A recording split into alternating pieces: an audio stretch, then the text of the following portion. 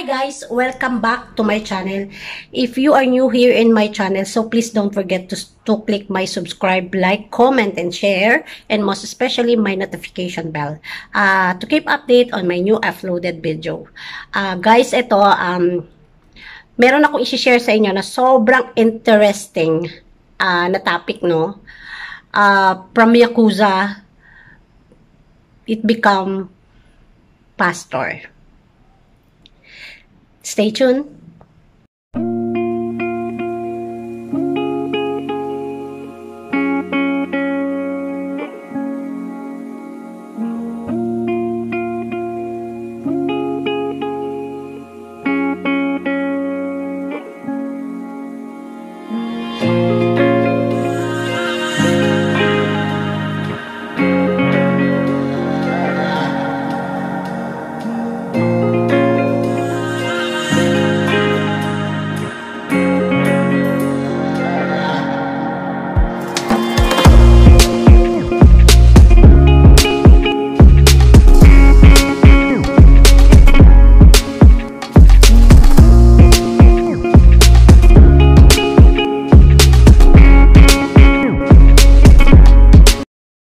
Simulan na natin ang usapan tungkol dun sa um, former Yakuza uh, to become a God follower.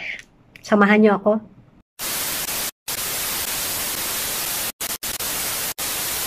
Is Yakuza. Ayan ang ating katanungan ngayon, no? I've been there from uh, Japan since 1991. So, I meet a lot of uh, Yakuza's friend.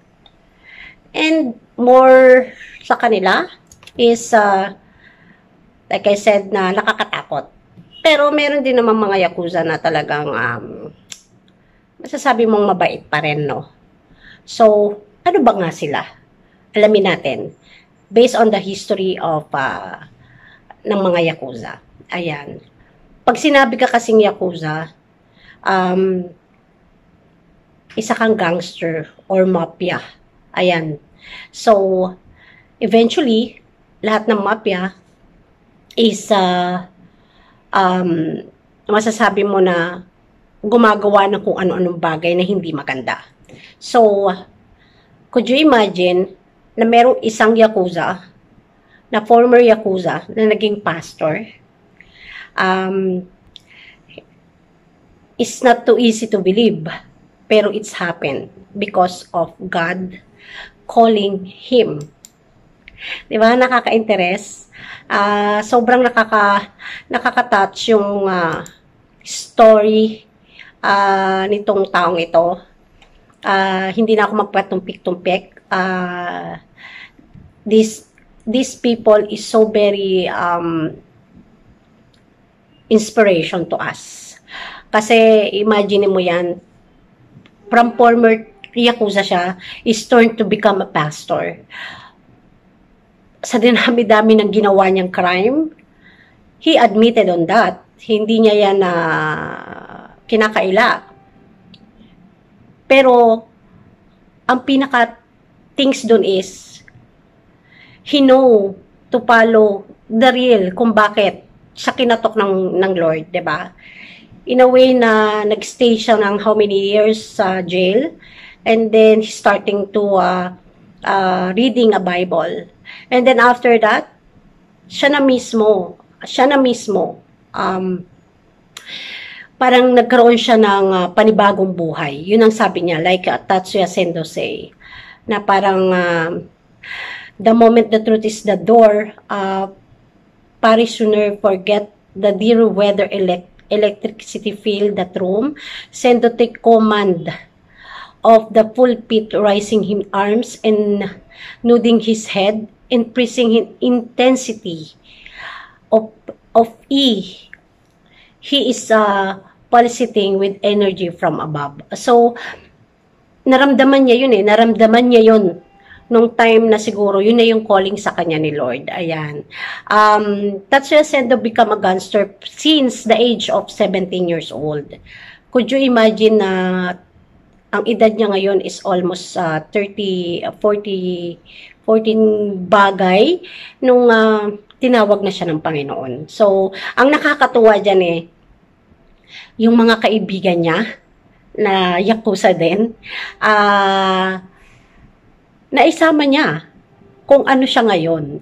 Ayun. Uh, ngayon, sa 37 years old, Vince, ano, uh, uh, been shunned by his family and lay down in mat each night to sleep on in church floor and fellowship work hired to him a painter.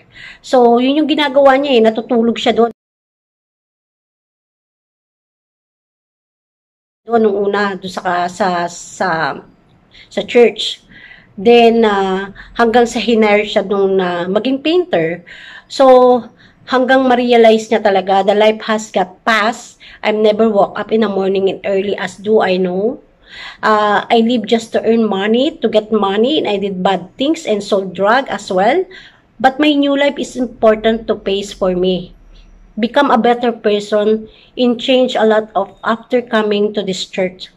He say. O, di ba? Parang, oh, nakakakilabot. Nakakakilabot na like he said, na ang dali-dali ng pera sa kanya, ang dali-daling uh, gumawa ng kasalanan para sa pera, pero nung time na tinawag na talaga siya ni Lord, doon niya na-realize na better person pala siya. At ang sabi niya, hindi, hindi ganun kadali. Hindi ganun kadali ang maging better person. Marami ka rin pagdadaanan. That's why nakaka-inspire ang buhay ni um, Tatsuya Sendo. Ayan. So, hindi pa huli doon sa mga taong, alam mo yon uh, na kailangan na katukin pa tayo para tayo magbago. So, um, sana itong content kong to, no, maging isang inspirations para sa mga taong um, hindi naman sinasabi lahat tayo masama, no? Kanya-kanya tayong pananaw sa buhay. Pero, the most important here is, kahit na anong sama mo, once tinawag ka na ni Lord, um, gagawa at gagawa ang Panginoon para kumilos sa buhay mo. So, Iyak ako. sa paningin ng Panginoon, walang masama sa taong handang magbago. Kahit anong uh, pagkakamali na ginawa mo sa mundong ibabaw, pero ikaw mismo ay humingi patawad sa ating mahal na Panginoon. Walang ibang sasagot sa iyo kundi si Lord. At ibibigay niya yung tamang way na kung ano ang nararapat sa iyo. So, like at Tatsuya Sendo said na mas madali ang gumawa ng crime mas madali ang gumawa ng money, easy money sa kanya. Pero nung time na siya, na yung tinawag ni Lord, tinalikuran niya yung lahat. Kasi, um, masarap pala daw mabuhay ng better person ka. So, ito, Tatsuya Sendo san wa, uh, jinsei no hanashi wo, uh, とっても刺激 okimashita. Honto irain desu. Uh, if I could wish, I want to meet you. I want to interview with you in personally, but I don't know if it's happened. Uh, 本当にとても、ああなたのあ人生の話を読み読みたら、すごいあ Irain desne uh, subarashi. なんとも言いません。